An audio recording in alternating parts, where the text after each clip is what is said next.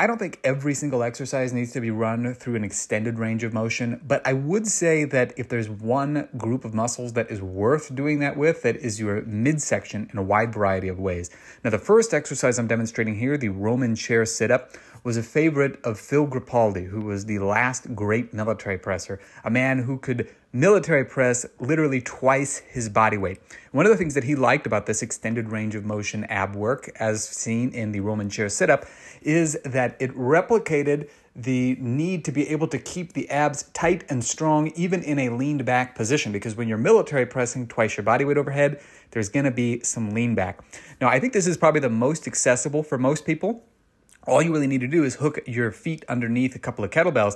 But if you have a machine like what you can see me demonstrating here, you can also do the reverse of it. And I'll call this, let's say, a Roman chair leg raise. It's the exact same thing you just saw with the Roman chair sit up, but being done with a leg raise.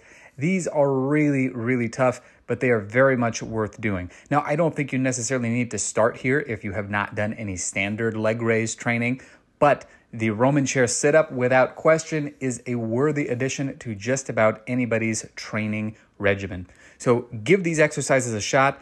Let me know how you like them. And as always, have fun and happy training.